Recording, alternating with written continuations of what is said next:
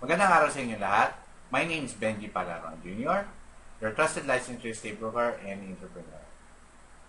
Maraming gusto magkaroon ng sariling bahay at property. Dahil ito isang achievement sa ating sarili at investment to sa ating future na pamilya. Sa video na ito, i-discuss ko ang mga pagkakamali or mistake ng first-time homebuyers. Para maiwasan nyo itong mga pagkakamali ito at maging preparado kayo sa pagbili ng first property ninyo. Mapabahay man to or condo. Bago ko to i-discuss, huwag nyo kalimutang mag-subscribe sa akin channel, i-click ang bell button para ma-update kayo sa mga latest video ko. So, manood at matuto.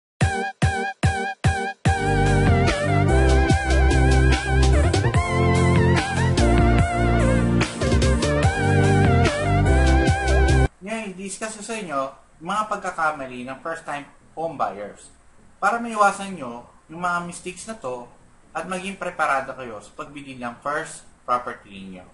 Ito yung sumusunod. Una, hindi nila alam ano yung bibili nila ng property. Alam ko very excited yung bumili ng property. Kaso, take time to have a research muna bago bumili ng property. Para hindi kayo magkamali decision ninyo in the future. So, take step back at mag-research. Number two, di alam ng buyer kung financially qualified sila doon sa property yung bibili nila.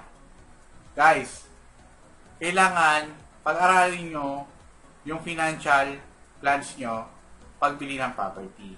Mahirap yung no budget plan. Doon, nagkakamali yung buyer. Kailangan i-check nyo kung you have enough cash to pay the property. May capable to pay ba kayo doon sa property nito?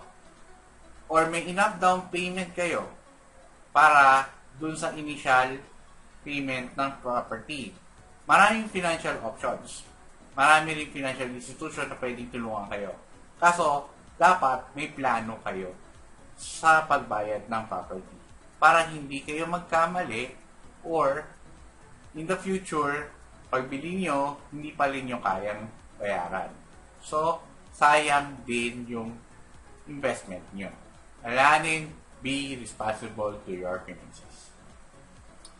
Number three, hindi pa handang tumira or lumipat dun sa bahay na pinili nila or yung property na pinili nila. Uh, alam ko maraming sentimental sa dating tinitirahan nila dahil ando yung dating lang mga kaibigan, ando yung institusyon na na kailangan mong puntahan or ando yung mga hangouts mo dati. Kaso, be adapted to changes. Kasi lilipat ka na doon sa pinili mong property. Or, kung hindi ka naman ready, huwag ka bumili. Mahirap kasi kung bumili ka na ng property, andun na yon. So, pag-aralan mabuti at mag-desisyon ng final na talaga. Okay?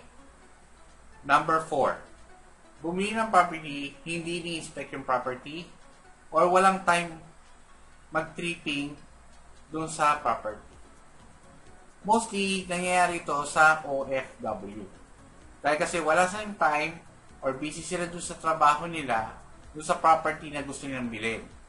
So, halimbawa, uh, yung asawa nila, maging uh, attorney in fact.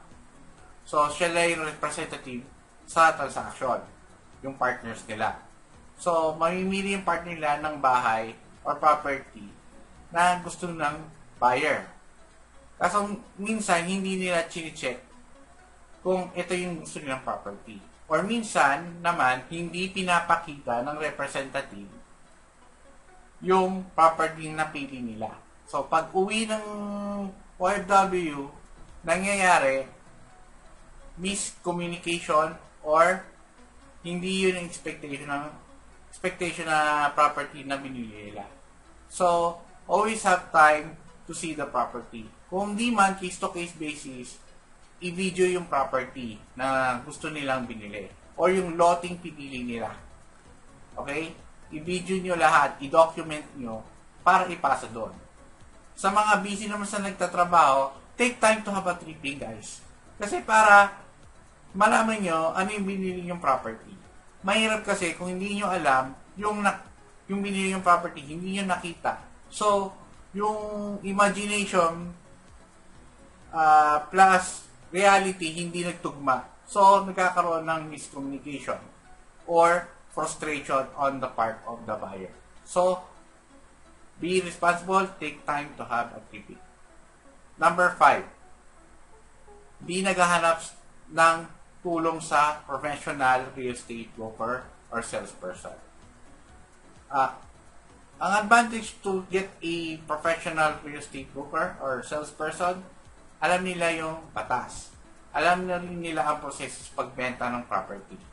Alam nila lahat, alam nila about yung property itself. So, huwag matakot mag-transact sa lisensyado dahil protected ang yung investment.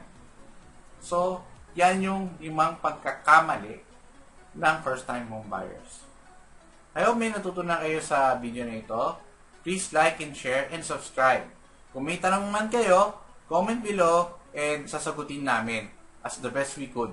So, have a great day and see you! Thank you so much for watching. See you again on my next video.